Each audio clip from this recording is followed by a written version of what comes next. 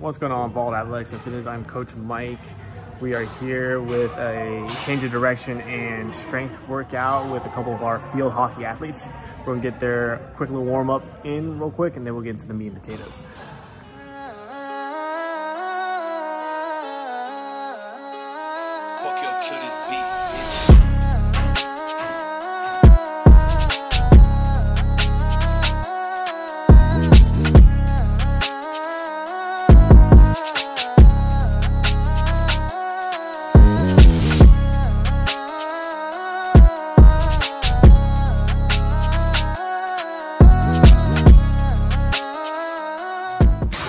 Right, now that we got a little bit warmed up, we're gonna get into our plyometric drills before we get into our strength. So here we go.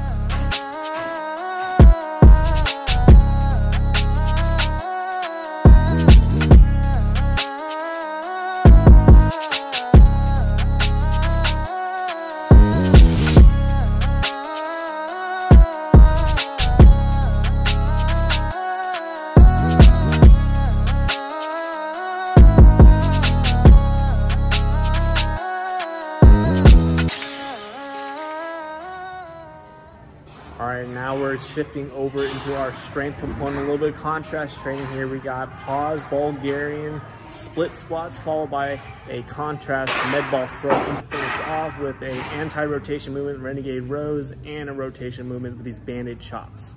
And that will complete their workout for today.